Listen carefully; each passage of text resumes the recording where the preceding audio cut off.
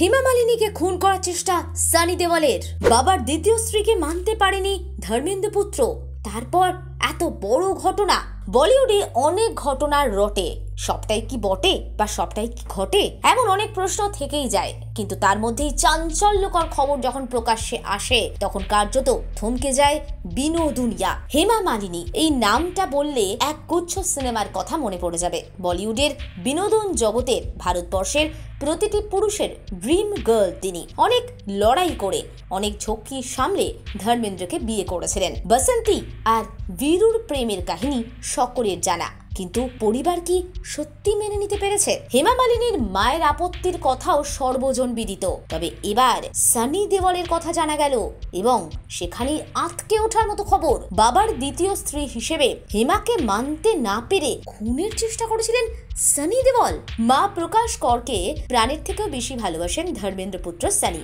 ধর্মেন্দ্রের প্রথম স্ত্রী প্রকাশ। তার দুই সন্তান সানি, ববি। প্রথম স্ত্রী রয়েছেন। তার সত্ত্বেও হেমাকে কেন বিয়ে? শুরু থেকে ধর্মেন্দ্রের পরিবার মেনে নেয়নি ধর্মেন্দ্রের প্রথম স্ত্রী প্রকাশ প্রচণ্ড রাস ভারী। তার দুই ছেলে সানি ববি রুক্ষ ব্যবহার করেন হেমার সঙ্গে। বিশেষ করে সানি মা থাকতে বাবা আর এক মহিলাকে নিয়ে কি করে থাকবেন? সানি মেনে নিতে পারেননি। একবার সাংঘাতিক বচসা হয় সানি আর হেমার মধ্যে। বচসা চলাকালীন হেমাকে সরাসরি বাবার জীবনে সেকেন্ড ওম্যান বলে সম্বোধন করেন সানি রাগারাগি এমন পর্যায়ে পৌঁছে যায় যে হেমাকে ছুরি দিয়ে খুন করতে যান সানি এই ঘটনার কথা ইন্ডাস্ট্রিতে সকলেই জানেন। কিন্তু বিষয়টা যে অনেকটাই রট না সেটা জানিয়ে দিলেন ধর্মেন্দ্রের প্রথম স্ত্রী এবং সানির মা প্রকাশ কর। তিনি বলেন, এমন কিছুই ঘটেনি। আমার ছেলে হিমাকে আঘাত করেনি।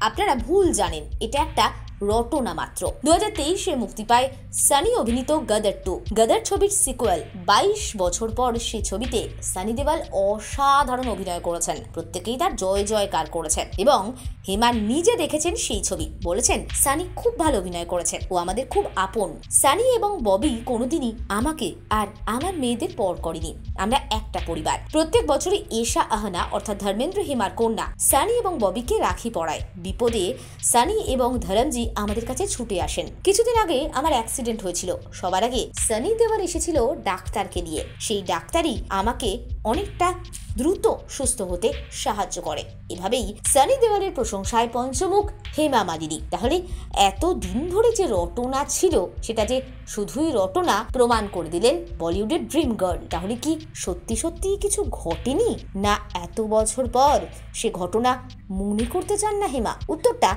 ধোঁয়ার সাথেই রয়ে গেল। AVN bureau.